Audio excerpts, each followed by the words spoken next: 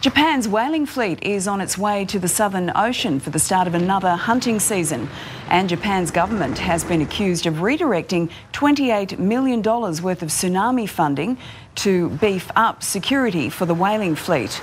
Sea Shepherd Captain Paul Watson joins us now from Perth. Good morning to you, Paul. Now, Greenpeace has made these allegations about the funding. Do you have any information on that? yeah, well, we made the allegations last week about it, but uh, nobody believed us.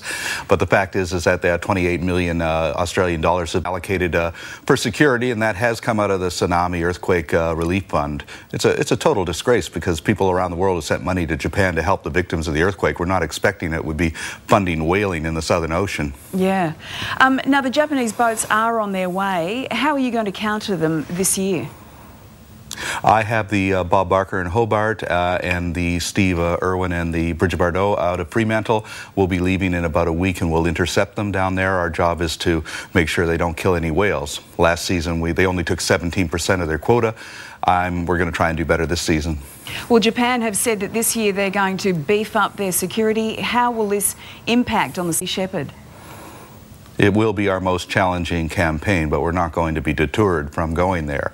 We will block their operations. The only way they're going to stop us is uh, to sink us. They may just do that, but uh, you know we're down there to defend the whales. We know what the risks are, and uh, we're prepared to take them. And when do you head off, Paul?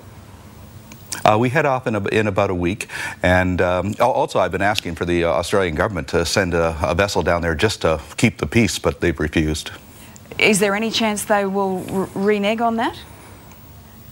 Uh, well, I would hope so, but uh, you know they're saying that uh, they don't want to get involved. It is the Australian Antarctic Territory, and there are about 20 Australian citizens on the crew. So I think that they, you know, have an, a vested interest in uh, in seeing that the peace be kept down there.